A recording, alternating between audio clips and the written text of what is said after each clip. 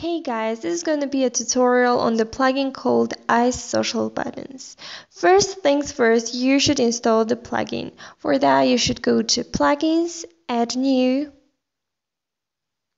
Upload Plugin, choose the file,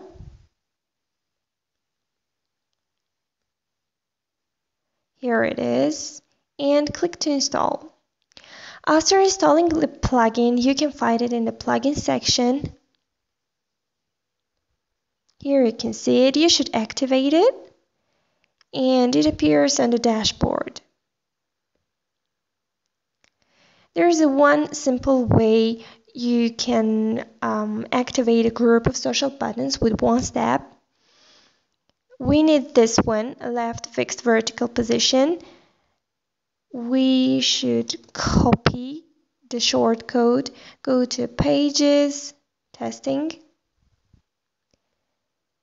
and paste the shortcode Update. And here, View Page, we can see the result. Here are all the social buttons.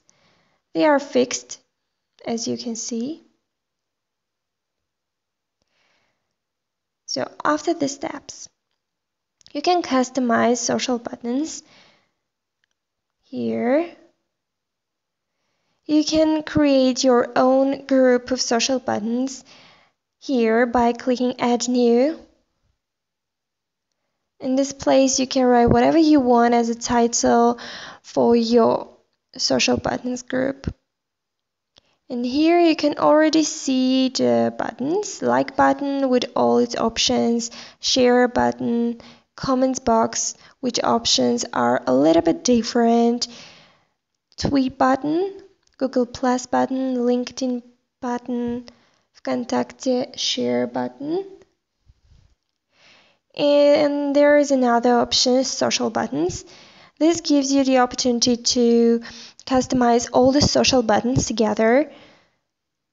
Here you can customize them separately and here you can customize them all together.